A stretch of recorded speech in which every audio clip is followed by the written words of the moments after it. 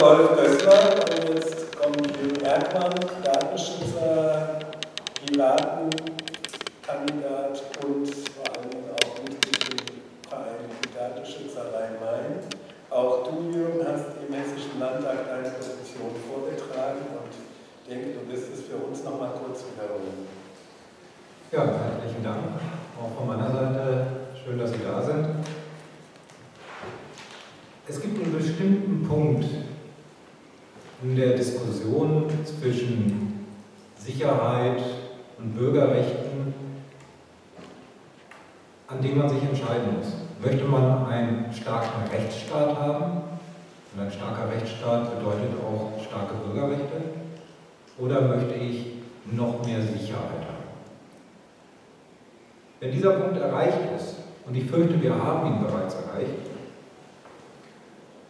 und man sich für mehr Sicherheit entscheidet, dann hat das automatisch zur Folge, dass Bürgerrechte abgebaut werden müssen.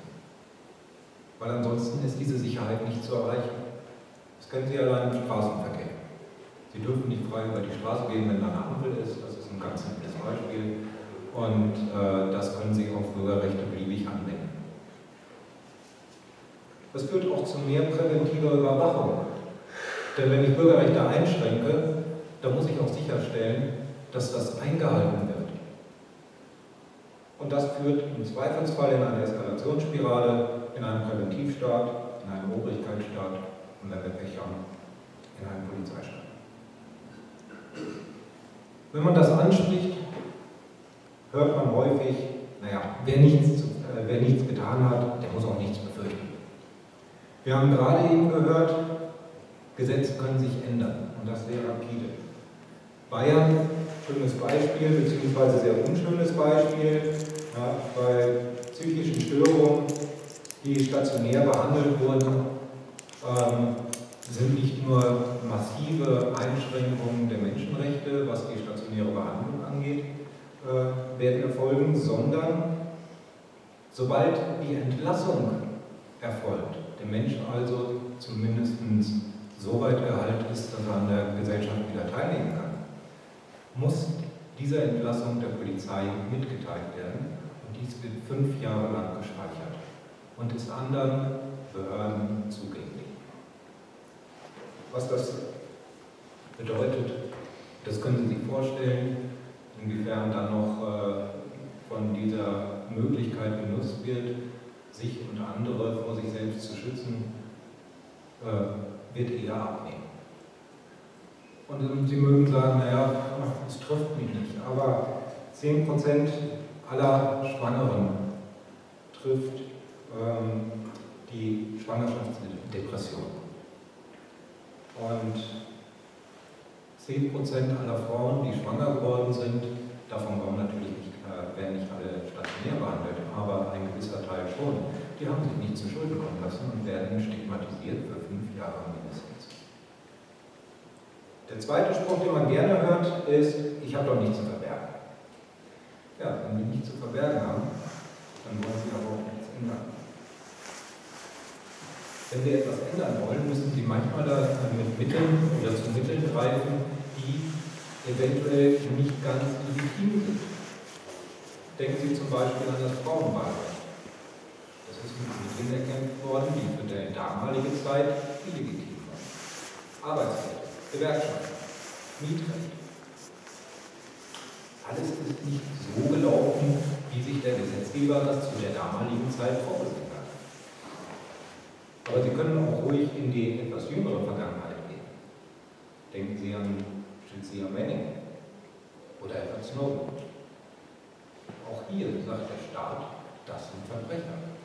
Und nach dem Gesetzesentwurf bedeutet das, dass sie abgehört werden könnten, dass sie von Online-Überwachung betroffen werden und das ganz regulär über den Paragraph 202 StGB und das EC-Gesetz.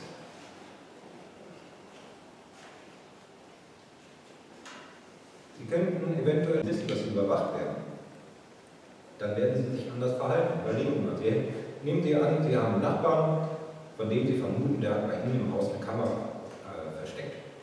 Dann werden Sie sich so lange anders verhalten, bis sie entweder die Kamera entdeckt haben oder sicher gehen können, dass keiner da ist. Es findet eine Schere im Kopf statt und diese Schere ist gefährlich für die Demokratie.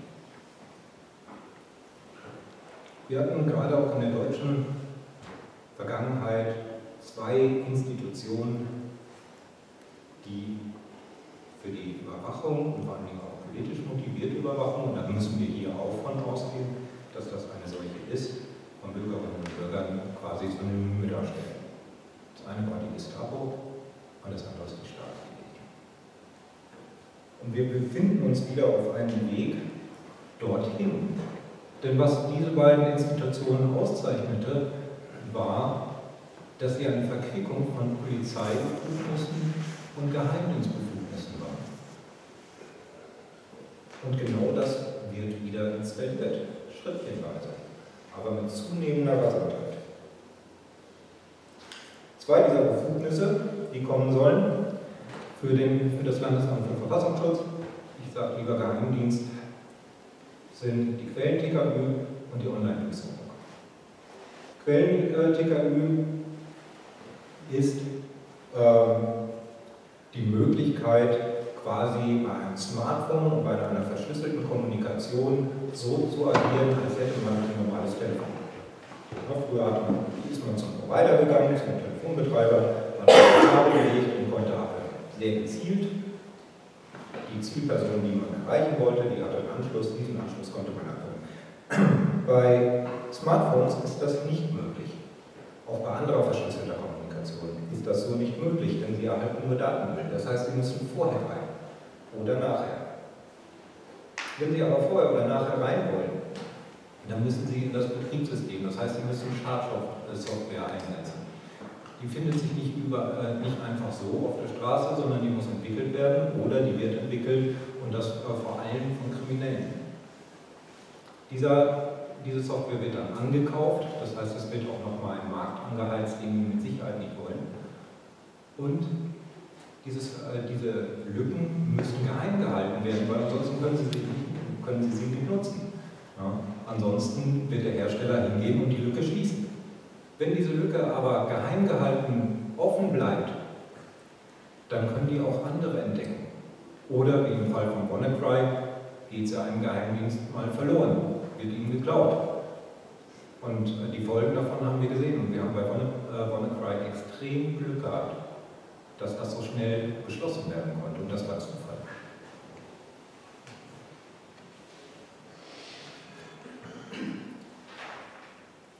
Ja, oben, oben drauf kommt dann die Online-Durchsuchung. Da wird dann das, der Inhalt des gesamten Gerätes angezapft. Das heißt, es wird geschaut, was auf Ihrem Smartphone, was auf Ihrem Computer ist.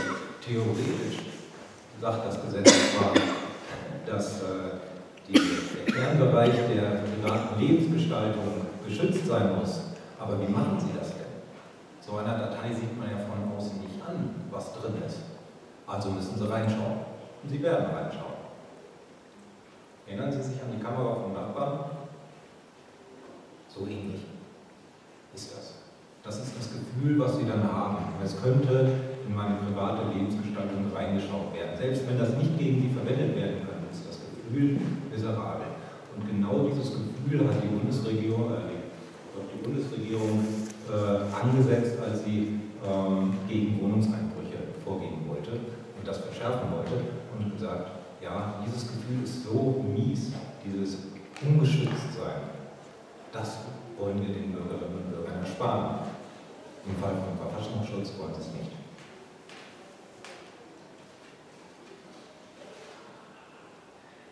Ja, und zur Folge hat das dann eben, dass man sich überlegen muss, was man tut. Dass man eben nicht verdächtig wird. Im späteren Verlauf kommen wir dazu, dass Ihnen das nicht helfen wird. Aber vor allen Dingen bedeutet das auch, dass zwei wesentliche Grundrechte eingeschränkt werden. Das eine ist die informationale Selbstbestimmung und das andere ist die äh, die Vertraulichkeit, die Integrität und äh, Vertraulichkeit von äh, technischen Systemen. Und die brauchen wir in unserer heutigen Welt.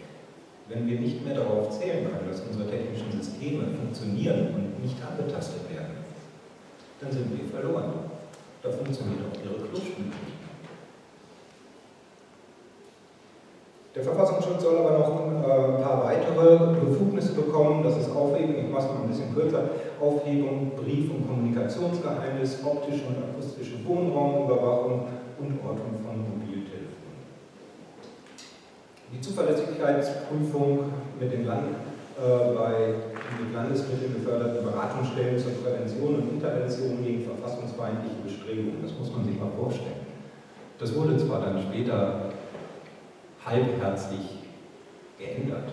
Also es gibt einen Änderungsantrag der Regierungsfraktion zu ihrem eigenen Gesetz, ähm, aber eben nur halbherzig, nämlich im Wesentlichen nur auf Bestandsschutz. Das heißt, die, die jetzt schon tätig sind und gefördert werden, die dürfen auch darauf hoffen.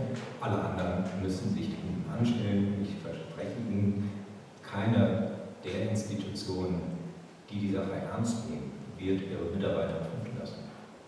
Das heißt, es geht in diesem Bereich enormes Know-how verloren und viel Kraft.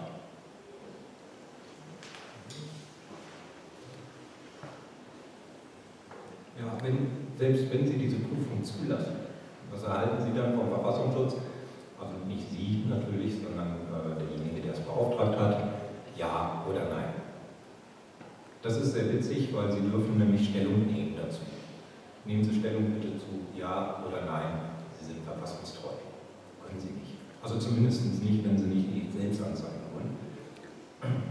Denn in Hessen gibt es gegenüber dem Verfassungsschutz keine Auskunftsbefugnis. Sie können dort nicht einfach fragen und sagen, was habt ihr über mich? Das soll auch nicht eingeführt werden, weil das wäre jetzt nämlich die Gelegenheit gewesen, beziehungsweise im äh, hessischen Datenschutzgesetz, was ja auch nivelliert, äh, nivelliert würde, allerdings muss Im Bund geht das.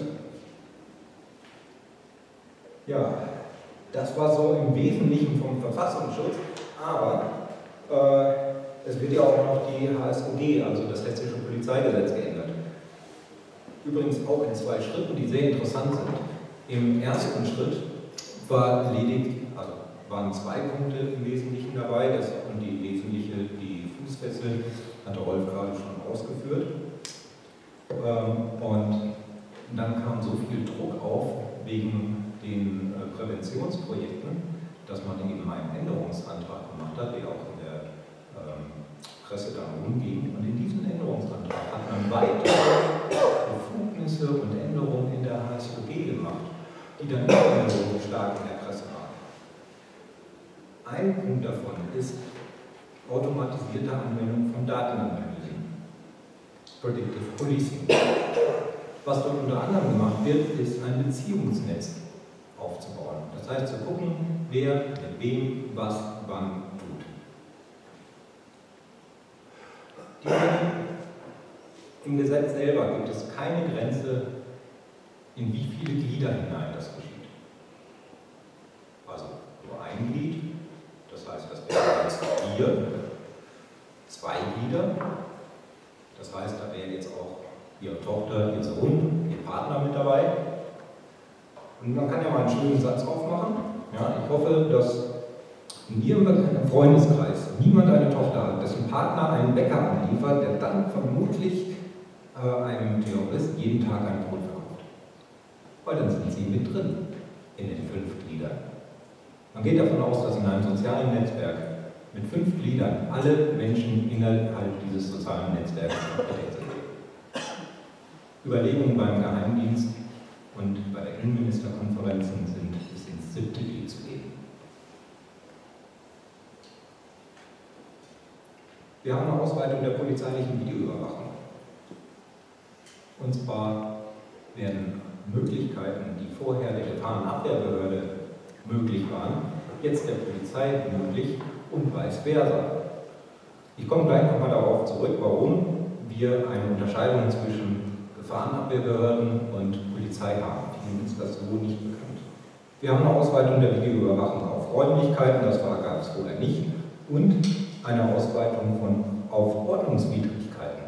Das heißt nicht nur mehr Videoüberwachung, sondern auch schon allein bei Ordnungswidrigkeiten. Diese Kleinigkeit steht allerdings dann nicht in dieser Gesetzesnovelle, sondern das wird geregelt bei der Änderung des Hessischen Datenschutzgesetzes. Jetzt wissen Sie auch, warum von Genehmigung könnte. Ausweitung vom Bodycam-Einsatz, das sind diese kleinen Kameras auf der Schulter der Polizistinnen und Polizisten, äh, Vorfeldaufzeichnungen von Bild und Ton, auch verdeckt. Äh, unbeteiligte Dritte dürfen erfasst werden. Es kommen noch Meldeauflagen hinzu, die erteilt werden können, und zwar dürfen bis zu zweimal täglich über einen Zeitraum von sechs Monaten Strafbewährung mit bis zu zwei Jahren Ja, eigentlich hatten wir, und deswegen habe ich vorhin mal die Gesetze äh, erwähnt, hatten wir mal sowas wie ein Trennungsgebot. Verfassungsschutz oder Geheimdienste und Polizeien sollten nicht dieselben Mittel erhalten. Das ändert sich. Die Polizei wird immer militärischer aufgerüstet, erhält immer mehr Befugnisse, muss immer weiter in das Vorfeld, also in den Bereich von Unschuldigen nach dem Gesetz und der Verfassungsschutz darf immer weiter in den Bereich der aktiven Verfolgung. Es gab, das Trennungsgebot gibt es auch noch auf einer anderen Ebene, nämlich zwischen Polizei und Gefahrenabwehrbehörden. Gefahrenabwehrbehörden sind hier in Hessen zum Beispiel die Stadtpolizeien in Frankfurt, die nochmal besonders Recht hat. Ähm, das sind äh, die Ordnungsämter, das sind Gesundheitsämter, Zoll, solche Geschichten. Die haben eigentlich, und das war äh,